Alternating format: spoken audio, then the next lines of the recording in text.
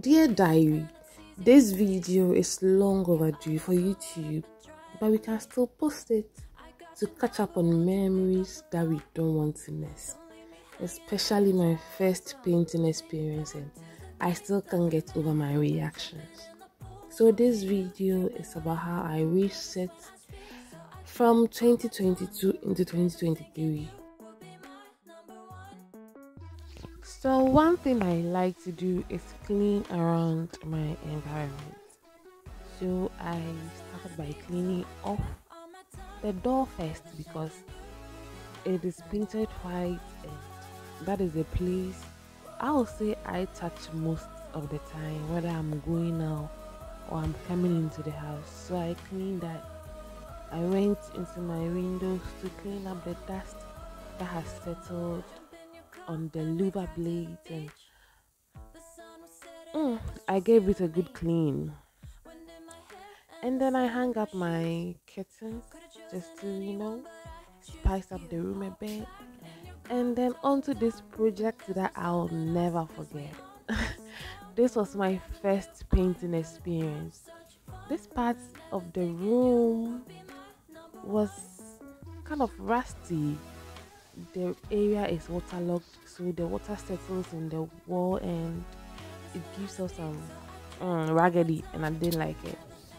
And the paint was left in I don't know how to explain that but that place was like lifting. So I had to pull it all down and then get into painting. Like I still watch back this video and I still laugh. I had never painted before, and I really wanted to paint. And I had my first painting experience. Just stay tuned and watch my reaction.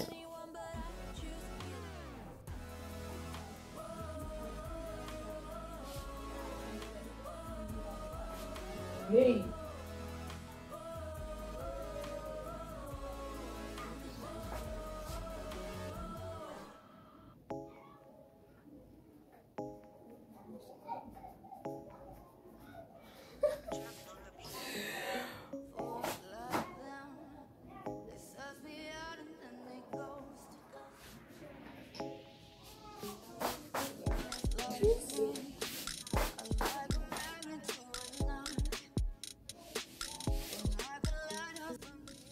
Dear Diary, I was so happy. I didn't know why painting made me so happy like that.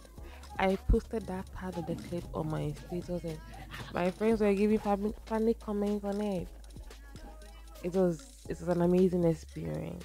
So stay tuned and watch how my painting turned out.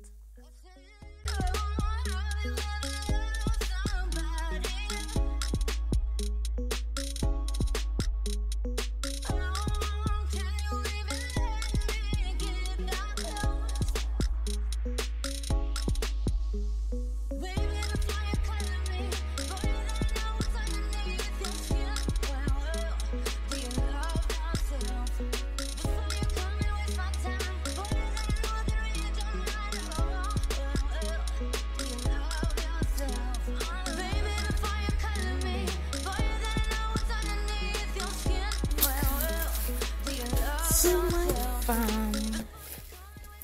And then I went to visit my family. One place I like staying when I go home or I like visiting the most uh, is a garden. I love everything green.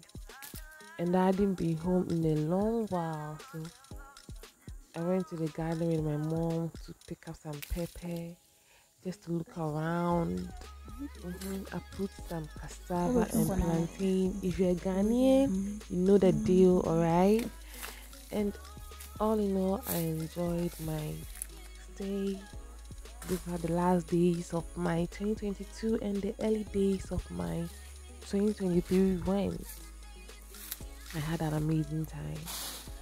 And we wrap up the year with some fireworks.